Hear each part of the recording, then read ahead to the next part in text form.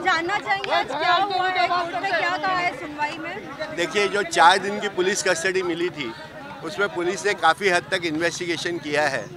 और आगे कोर्ट को ऐसा लगा कि शायद आगे के इन्वेस्टिगेशन के लिए उनकी पुलिस कस्टडी की ज़रूरत नहीं है। तो कोर्ट ने उनको जो है जुडिशियल कस्टडी यानी जेल कस्टडी दी है। मगर यहाँ उनकी तकलीफ़ ख़त्म नहीं होती है। मैसूर पुलिस यहाँ आके खड़ी हुई है। मैसूर पुलिस के पास जो है एक संगीन मामला जो है तीन सौ छिहत्तर का।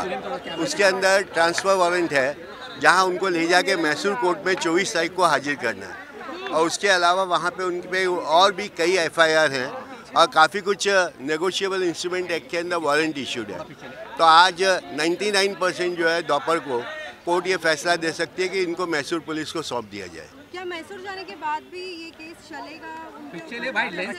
ले। नहीं ये केस ख़त्म नहीं हुआ। सवाल यहाँ सिर्फ़ इतना था कि उनकी पुलिस कस्टडी की ज़रूरत है या नहीं। तो कोर्ट ने इतना ही कहा कि पुलिस कस्टडी की ज़रूरत नहीं है। इन्वेस्टिगेशन आगे कंटिन्यू रहेगा।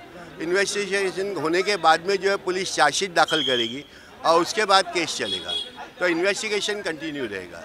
फाल्गुनी जी आप क्या कहना चाहेंगे आज के केस के बारे में? क्या कुछ अंदर बातें हुई है? आदिल जैसे आपको सर ने सारा कुछ बता दिया है केस में प्रोग्रेस हो गया है अ, बहुत हद तक बहुत हद तक इन्वेस्टिगेशन हो गई है इसलिए आज कोर्ट को अ, कोर्ट ने जेसी दे दी है। अब मैसूर पुलिस के लिए उनकी क्या ऑर्डर आती है हम उसका इंतज़ार कर रहे हैं। और उसके बाद अगर उस, उनको कस्टडी मिलती है तो उनको मैसूर पुलिस लेके जाएँगे। राखी आप क्या कहना चाहोगे? सर ने सौरगी सर और फाल्गुनी मैम यहाँ पे है जय जय जी भी है।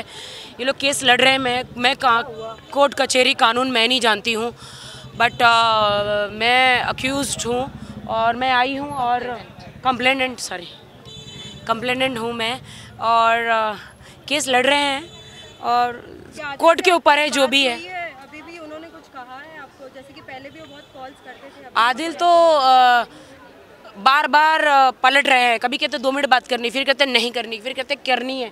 फिर कहते नहीं करनी है। ऐसे पलट रहे हैं बार बार और सबको नचा रहे हैं। चलो कोई बात नहीं है। कानून को नचा नहीं सकते। कानून कानून के हाथ में है वो। जज के सामने आप दोनों गए थे। क्या बातें अंदर हुई है? कुछ बातें हुई है आप लोगों की अभी पता चलेगा। पे पता नहीं कुछ हो रहा है। लड़ाइयाँ हो रही बाप रे डर लग रहा है। मुझे। अभी आदिल आपको क्या मैं आपको आपसे इंटरव्यू कर रही हूँ ना पहले सर का ले लिया ना आपने। ओके